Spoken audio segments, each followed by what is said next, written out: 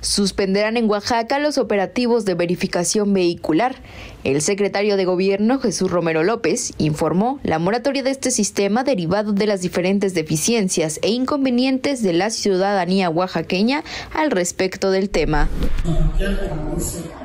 señor gobernador, quiero informarle a la ciudadanía oaxaqueña que habrá una moratoria que para el tema de la verificación.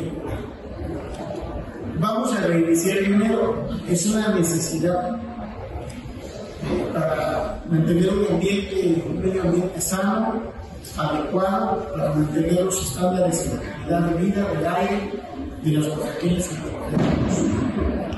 Pero sí nos preocupa, eh, nos parece importante, eh, a partir de esta decisión que toma el señor gobernador, que el secretario señaló que esta suspensión se hará de manera temporal para realizar una revisión puntual y eficiente, además de habilitar más centros de verificación. Será hasta el mes de enero del próximo año cuando se inicie una nueva fase del proceso de verificación. No hay una nos a cumplir con la verificación para que todos la resistencia de los ciudadanos no está ahí. Se nos ha hecho llegar información que en algunos de los beneficentros es muy ineficaz el servicio. No se entregan recibos fiscales.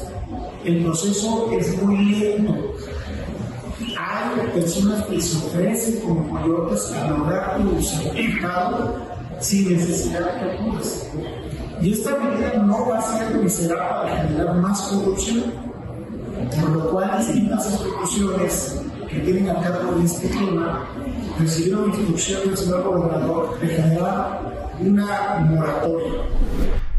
Romero López comentó que esta acción instituida por el gobierno pretende mejorar la calidad de vida de la ciudadanía, contrarrestando la contaminación y favoreciendo al medio ambiente. De entonces, dejo claro que no hay necesidad, se van a suspender los operativos de la policía vial que consistían en un exhorto y en enero tendremos que arrancar una fase muy bien organizada, muy transparente, muy apegada a la legalidad. Informó para Noti 13 Alexandra Hernández.